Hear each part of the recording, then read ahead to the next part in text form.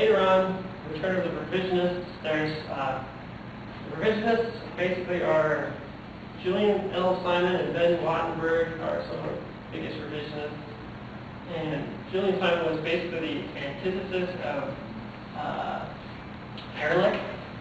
So, uh, and he stated his idea was that population doesn't matter at all. People are the ultimate resource. Um, okay, so population only matters that we should have more people because people are the ultimate resource and produce the most ideas and can solve all the problems. So the more people we have, we can solve problems faster. Anyways, continuing on, my thesis what is the progression of dynamic population discussion?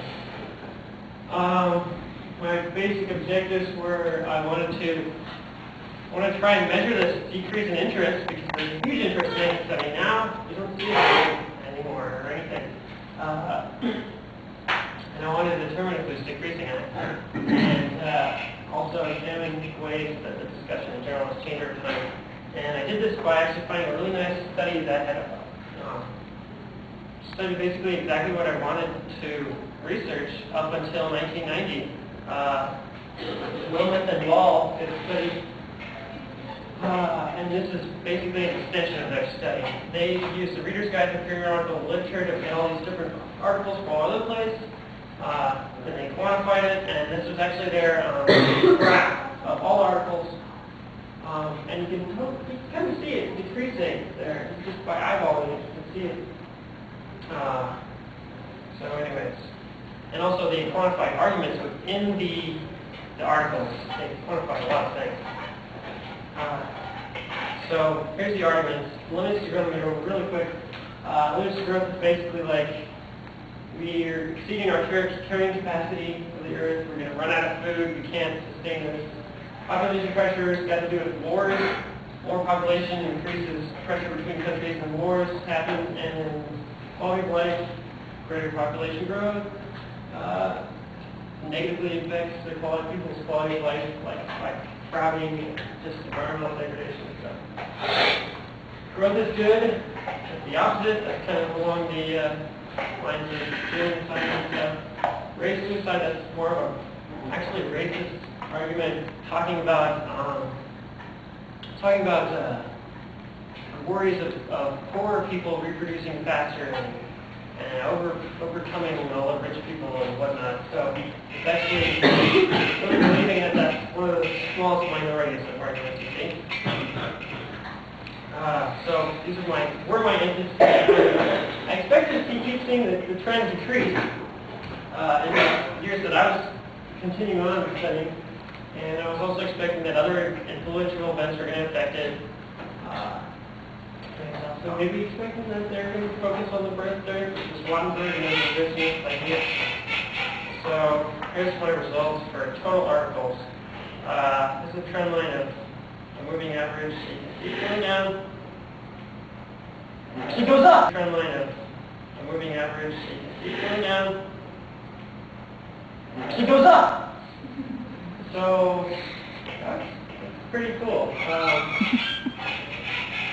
uh, so this, you can see, up pretty steeply at the end, and there's a bunch of um, spikes. You can see two spikes in the uh, in the uh, trend line there, and those correspond with uh, there's the International Conference on Population and Development, comes up to 40, and then uh, later on the second spike is uh, when we hit 6 billion as a world.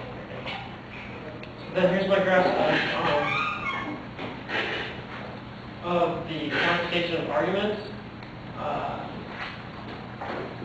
Uh, I'll go over this more too. This is uh, how they turn out. This is um, actually quantifying how threatening articles perceive population growth, or neutral or beneficial. And this is crazy graph of uh, six harms mentioned by articles, one articles that uh, they said population, rapid population growth poses. So they compared them with the previous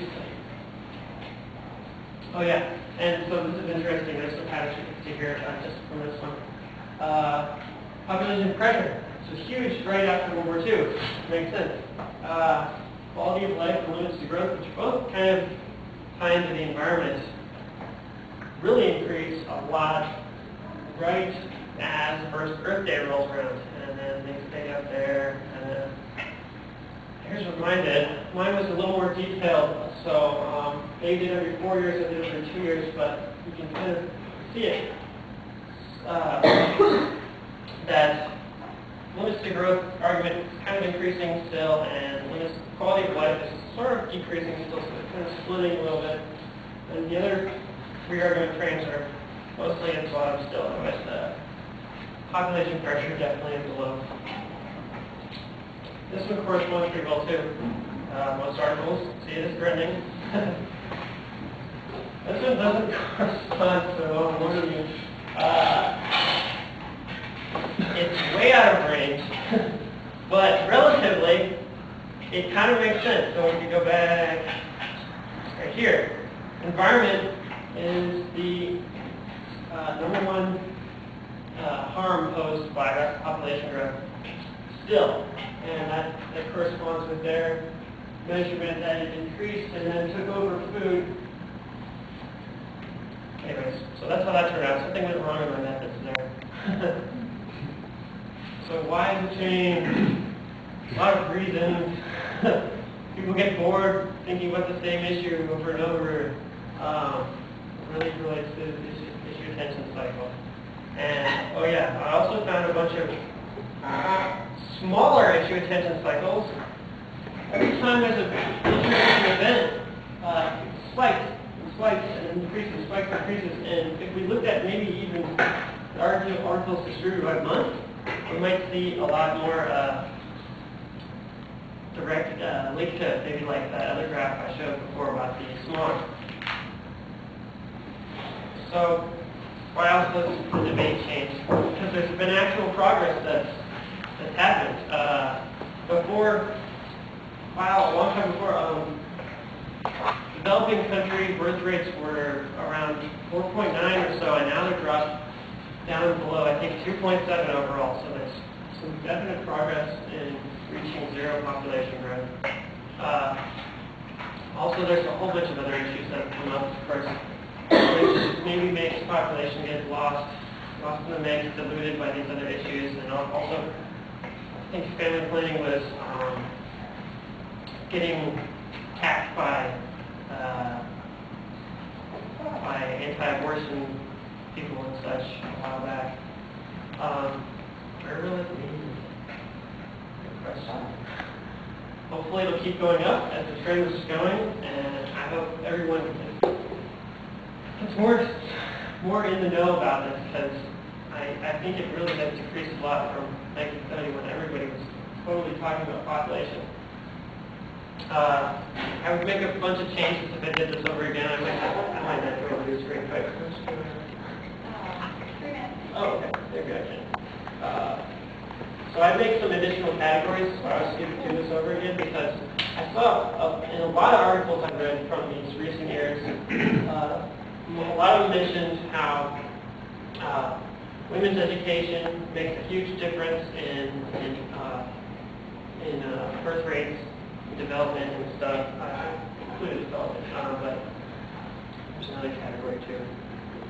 Uh, oh yeah, uh, with the revisionism, they a lot of people are concerned that with decreasing birth rates in developed countries, there's not going to be enough funds to support elderly because there's going to be less young people. And uh, one article I read really addressed that interestingly. They said that uh,